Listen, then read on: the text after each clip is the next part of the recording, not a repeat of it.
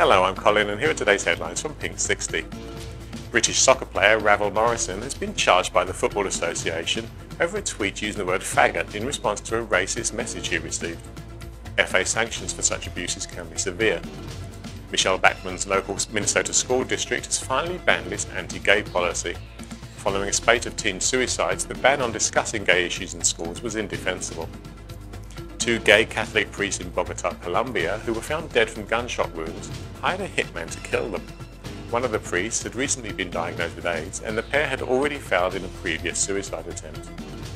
The publishers of GT and Diva magazines have launched a new digital publication aimed at gender variant people. Called Meta, it can be downloaded from the App Store or Android market. And finally, the Olympic British diving team have made an I'm Sexy and I Know It video 18-year-old Tom Daley features alongside some other sexy male and female team members during some downtime from training in Australia. that's all from us today. Join us again tomorrow.